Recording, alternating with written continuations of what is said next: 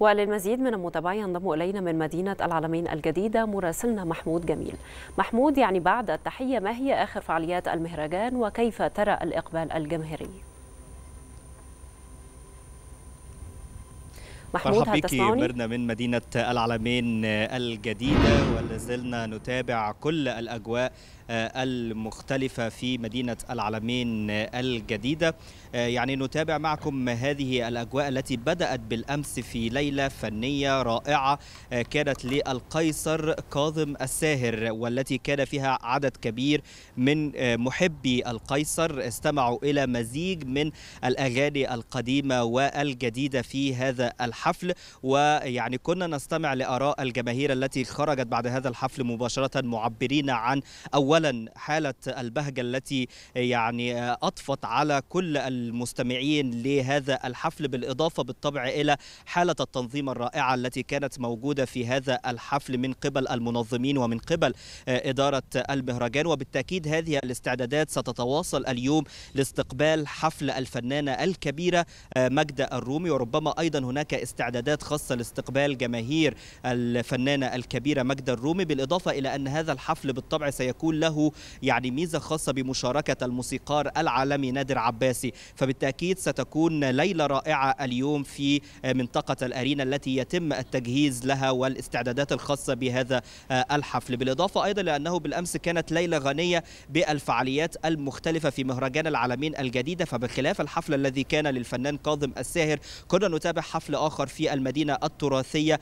لأساتذة بيت العود العربي وهي أولى الحفلات التي تطلقها وزارة الثقافة بالتعاون مع الشركة المتحدة للخدمات الإعلامية ليكون هناك عدد من الحفلات الفنية في المدينة التراثية بالإضافة بالطبع إلى الفعاليات الثقافية والتي تقدم من خلال فرق التنورة والفنون الشعبية في المنطقة الترفيهية وهي الفرق التابعة للهيئة العامة لقصور الثقافة. بالإضافة إلى أننا كنا نتابع أيضا بعض الفعاليات الرياضية الموجودة في منطقة الألعاب الرياضية وتحديدا في ملعب كرة القدم الذي استقبل بالأمس يعني فعالية تحدي السرعة بالإضافة إلى أنه سيتم استكمال الفعاليات الرياضية اليوم. سيكون لدينا اليوم بطولة واحد ضد واحد وهي البطولة الأولى والنوع الأول في المشاركة في مهرجان العالمين الجديدة في نسخته الثانية بمشاركة كل عشاق كرة القدم من الذين يريدون أن يشاركوا في هذا التحدي. بالإضافة بالطبع إلى استمرار بعض الأنشطة الرياضية ككرة الطائرة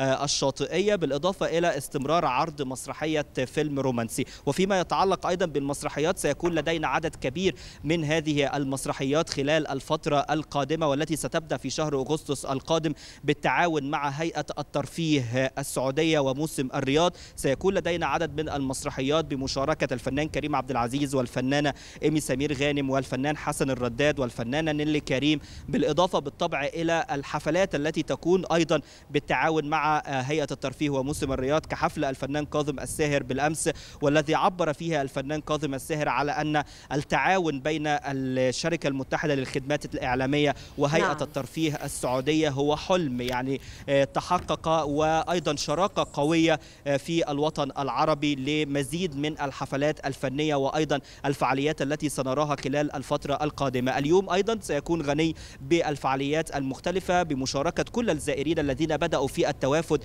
على مدينة العالمين الجديدة خاصة في الأسبوع الثاني من هذا المهرجان والذي بدأ بداية قوية بالأمس بحفل القيصر. وبالتأكيد سنتابع معكم كل هذه الفعاليات على مدار اليوم من مهرجان العالم عالمين نعم أشكرك شكرا جزيلا. محمود جميل مراسل التلفزيون المصري شكرا جزيلا لك.